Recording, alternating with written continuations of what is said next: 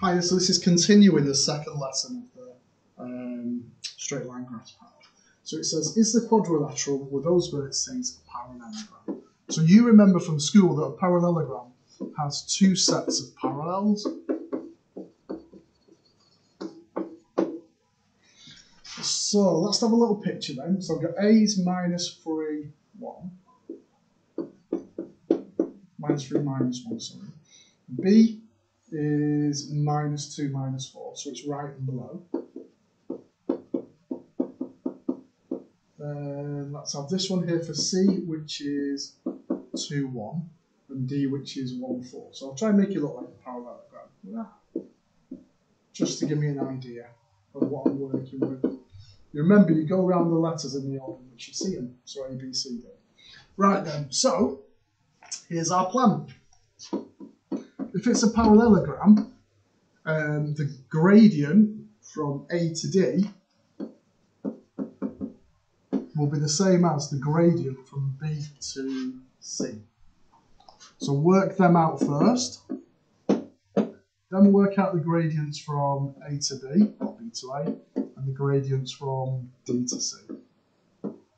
See if they're the same, and then you want your conclusion. So what we're doing first, M, A to D. So the change going up is 5, the change going across is 4. Let's have a look at B to C. So the B to C, the change going up is 5, the change going across is 4. How miraculous. Let's go from A to B. So the change going down is minus 3. The change going across is 1 the gradient from D to C, so the change going down is 3, and the change going across is minus 1. There you go. So look, we've got them showing us the same, so have a little conclusion.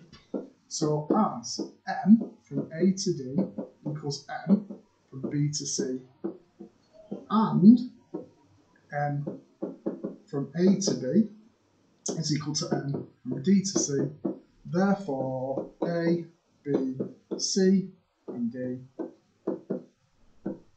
are a parallelogram. There.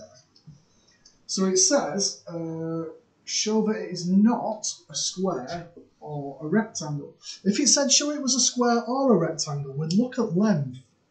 But if it's not a square or a rectangle, we want to see what the angle is.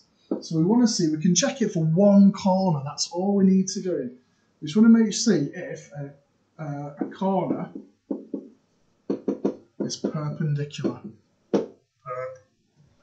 So let's have a look at the gradient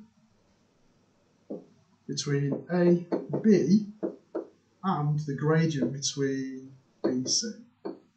So the gradient from A to B is 5 over 4, the gradient from B to C is minus 3. That equals minus 15 over 4.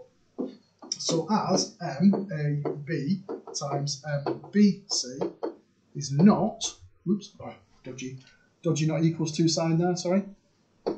It's not equal to minus 1. Uh, the angle at B is not a right angle Therefore, it is not a square or a rectangle. You notice once again I've written the um, written the whole thing out.